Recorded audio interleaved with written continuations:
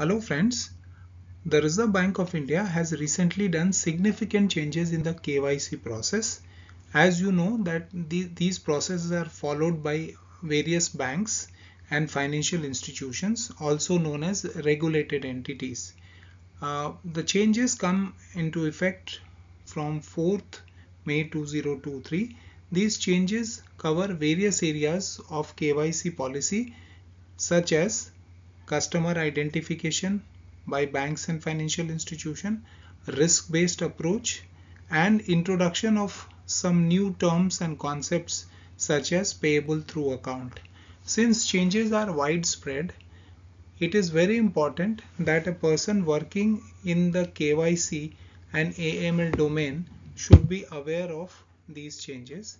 To help such people, I have created 10 questions which cover the most recent changes made by RBI. So in this video, I will be taking you through those questions. There are in all 10 questions. Let me start by asking the first question, which is on this slide. As you can see, as per RBI master direction on KYC, in case of a company, the beneficial owner is the natural person who whether acting alone or together or through one or more judicial persons has have a controlling ownership interest or who exercise control through other means. Okay now this is a uh, this is something which is applicable in case of a company which is not a natural person but rather an artificial person. But it is run by natural persons which we all know so there is a concept of controlling interest in case of companies okay? So controlling interest uh, or controlling ownership interest means ownership of or entitlement to uh, what percentage of share or capital or profits of the company. So earlier it was 25% but with the changes introduced by RBI now it is no more 25% it is actually 10% so please note that this is a change which has happened which is the controlling ownership interest is now defined on the basis of uh, 10% uh, or more of shares capital or profits of the company. The second question is which of the following is not included in the identification of beneficial owner in case of trust for KYC. So identification of beneficial owner for trust has also undergone change in the new KYC process. So author of the trust was always there, the trustee was there. The beneficiaries with 5% or more interest in the trust is not covered actually. What is covered is that beneficiaries with 10% or more interest in the trust. So this is a change which has been introduced by RBI. We move on to question 3 which is about a concept and this is a very important concept which is used internationally but RBI has inserted this particular concept with the recent change in the KYC master direction. So what is the question? In some correspondent banking relationship, the respondent bank's customers are permitted to conduct their own transactions, okay, including sending wire transfers, making and withdrawing deposits, and maintaining checking accounts through the respondent bank's correspondent account without first clearing the transaction through the respondent bank. So there is no need to clear the transaction through respondent bank. You can use the services of correspondent bank directly. Okay. What is the term associated with this concept which has been introduced by RBI in the latest master direction? So if you have this kind of an arrangement, the concept is called as payable through account. So this is a new concept which has been introduced by RBI in the master direction. Okay. We move on to the question number 4. Which of the following is not included in the list of foreign PEP as per RBI's master direction? So RBI has specified the details of foreign PEP in the master direction and representative of United Nations are not covered in that. All other three are covered in the foreign PEP concept.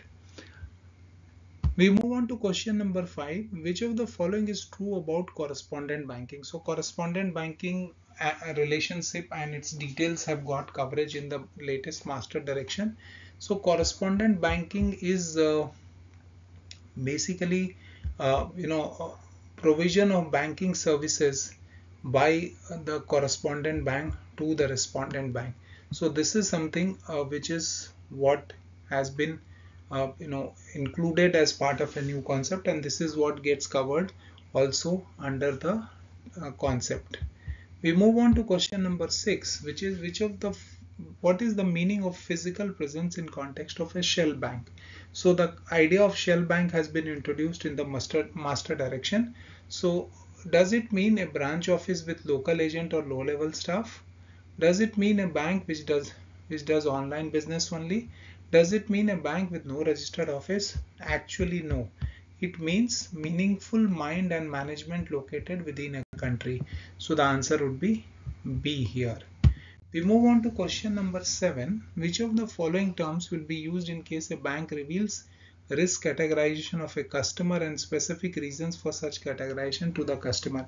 So it is like you are doing um, or you are revealing as a bank the reason why a customer has been say made high risk customers such such approach or such disclosure would be called as tipping off. And tipping off is not allowed in the in, context of the KYC and AML policy.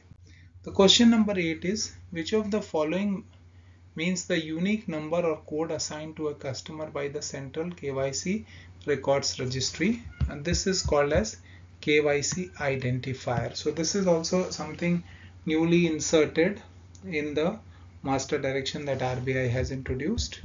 This takes us to question number 9. Which of the following is the purpose for which non-profit organizations are constituted? So uh, if you are an NPO, you are subject to a special screening for KYC and AML. So is it religious, is it charitable or is it neither? The answer is it is both religious and charitable. We move on to question number 10. Which of the following has been included in the scope of risk-based supervision by the RBI? So customers shall be categorized as low, medium and high risk which was anyway there Risk categorization shall be undertaken based on parameters such as customer's identity, financial status, natures of business activity and information about customer business and their location uh, which was there already. While considering customer's identity, the ability to confirm identity documents through online or other services offered by issuing authority may also be factored in which was already there. So what has been introduced is the broad principle which may be laid down by regulated entities for risk categorization of customers. So the idea was to take you through these 10 questions to help you understand the recent changes.